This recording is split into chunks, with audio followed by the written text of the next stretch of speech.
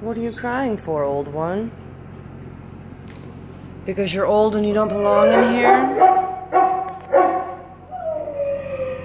Look at how beautiful you are. Hi. I know I don't know you. I shouldn't just go sticking my hands in, but we were saying hello already, weren't we? Yeah, you were talking to me. You were trying to get my attention. I saw it. Yeah. Yeah. Here, let me come love you. Let's show everybody how sweet you are. Cool. Or are you a girl? Oh, you're a girl. I'm so sorry, Mommy.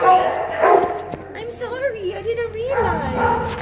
Oh. See, you're loving it. You're just not. You're not happy in here. You're like, get me the hell out. I don't blame you. Hey, quiet. Thank you. Good girl. Wow. Okay, I will tell them. I literally will. I will tell them that you told me just like that.